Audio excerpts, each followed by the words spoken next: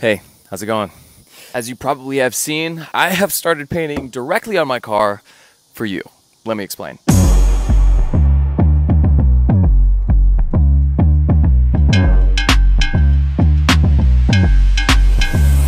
Month ago, I decided I wanted to get my car wrapped all white. And little did I know that was my first mistake, because then it looked exactly like a canvas. And we live stream every single night and draw over everything. So naturally, that caused a problem. And it eventually got to the point where we couldn't help it, and I had to put your names all over the car. So that's what we've been doing for the past three weeks. Come on, let me show you around. So we have the hood, where the top 10 supporters of the entire night go every single night. Where if you're one of the top 10 supporters, you get your name on the car. And if you're a top 10 supporter for a second time, I try to draw anything you want, which is why we have paw prints, flowers, butterflies, crowns, turtles, wings, and way crazier things than that. And we also came up with challenges like the R2K challenge. This is the R2K winner's circle. To get in that circle, you have to be able to send 2,000 roses in one battle.